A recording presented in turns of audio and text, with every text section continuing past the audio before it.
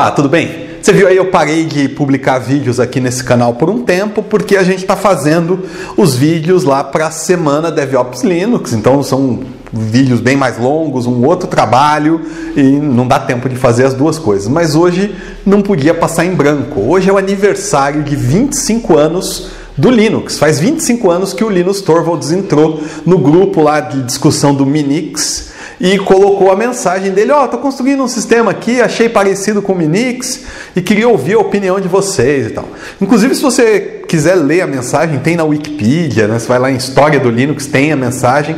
É bem interessante, porque o começo do Linux foi bem modesto, assim, foi, não, estou construindo um negócio aqui bem amador, é, a ideia é que ele nunca fique grande, não vai ser portado para outras plataformas. Ele não tinha uma, uma sombra de noção do que o Linux vinha a ser quando ele entregou o primeiro código para a comunidade há 25 anos atrás, sabe?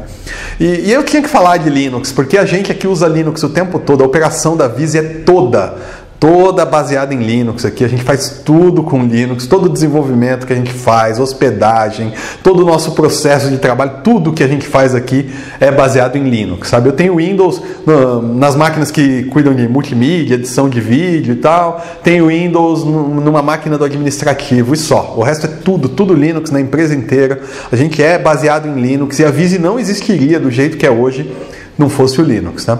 E aí eu posso citar exemplos, claro, eu estou em boa companhia. Para citar exemplos que você conhece, que todo mundo vai citar, Google, Facebook, Twitter, Amazon, esse pessoal todo tem negócios baseados em Linux. E, né, se você acessou o Google hoje, você acessou servidores Linux, com certeza. Se acessou o Facebook, com certeza você acessou servidores Linux. Né? Além disso, eu posso citar uma porção de outras coisas é, que foram derivadas do Linux. Por exemplo, se você tem um equipamento Cisco aí na sua sua empresa, é, muito provavelmente esse equipamento, a não ser que ele seja muito antigo, ele é baseado em Linux. Tá? É, falando de Cisco, eles são 100% Linux hoje, mas a maioria das empresas que fazem equipamentos para rede, de alguma maneira, baseiam esses equipamentos em Linux. Então, se você tem um roteador aí, se você tem um, um hub, um switch na sua empresa e ele é inteligente, ele tem software, né? esse software muito provavelmente é baseado em Linux. Para você ter uma ideia, a maioria dos trens bala no mundo são controlados por Linux. A NASA usa, usa Linux no programa aeroespacial para controlar, inclusive, equipamentos equipamento de missão crítica, as coisas que vão para o espaço ali e tudo mais, sabe? O Departamento de Defesa dos Estados Unidos está fazendo armas e a inteligência artificial das armas são baseadas em Linux. Então, quando você vê eles mandando aqueles é, drones voando em cima do Oriente Médio, aquele negócio todo, o que está voando ali é um Linux. Infelizmente, né? mas é o Linux está sendo usado para isso também. A indústria de aviação está usando o Linux bastante também. Ah, para citar outros negócios assim, Wikipedia, OLX, Pizza Hut, McDonald's tem operações gigantescas baseadas em Linux, sabe?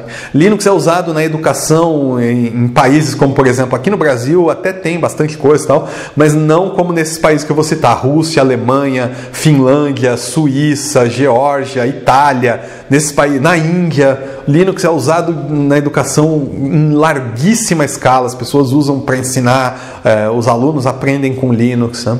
Eh, no cinema, por exemplo, o Linux é usado para editar filmes, para renderizar filmes. Então, por exemplo, Titanic, Avatar, o processo todo de edição e renderização foi baseado em Linux. E você imagina renderizar um Avatar, um negócio que é, exige um farm gigantesco, é, seria muito difícil construir isso com outro tipo de software, ok?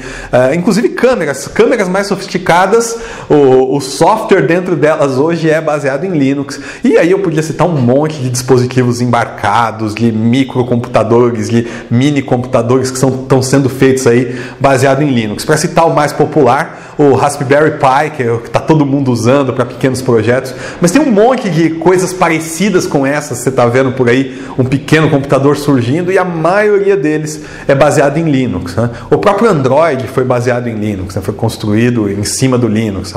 Falando de web, então, você vai ver que o Linux é a esmagadora maioria dos servidores web e esse trabalho que a gente faz aqui na Visa, a gente não está sozinho, a gente está em excelente companhia. A esmagadora maioria dos softwares que vão para a web hoje são desenvolvidos com base em Linux, para rodar em Linux. É assim que, que se faz as coisas hoje na web. E eu preciso muito agradecer ao Linux, agradecer uh, ao sistema operacional, agradecer à comunidade que dá esse suporte, agradecer a todo mundo que embarcou nessa, nessa jornada. A gente está junto com vocês, a gente aqui já converteu um monte de empresa que usava softwares proprietários para usar software open source baseado em Linux. A gente já ensinou um monte de gente a usar Linux. E para comemorar hoje o aniversário, 25 anos do Linux, eu vou fazer um anúncio.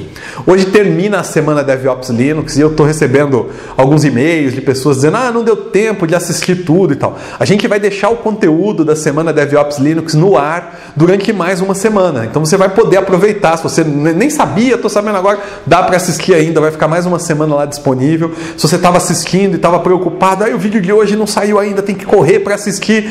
Vai dar tempo de você assistir, fica tranquilo. Você vai ter mais uma semana. Então, semana que vem, enquanto a gente vai estar falando aí do treinamento avançado de Linux, que é aquele que a gente faz uma vez por ano e tal, a, a semana DevOps Linux vai continuar no ar. Você vai poder assistir os vídeos, as aulas dessa semana, para a gente comemorar, né? Afinal, hoje é o aniversário do, do Linux. Eu não podia, justo no dia de hoje, tirar o conteúdo do ar, né? Então, mais uma semana aí para você. E eu queria agradecer muito, muito a todo mundo que está engajado aí no, no Linux. Gente que, como a gente aqui, está ensinando usuários, convertendo instalações para Linux, é, é um usuário ardente, fervoroso do Linux e principalmente aquele pessoal que está envolvido no desenvolvimento, seja no desenvolvimento do kernel, do Linux de verdade, ou no desenvolvimento de toda a plataforma GNU, de todo o ecossistema de softwares que estão em volta do kernel. Se você está escrevendo código aí, fica aqui meu sincero agradecimento, meu muito obrigado pelo seu trabalho. Está mudando a vida de muita gente, você está ajudando a mudar o mundo. Valeu!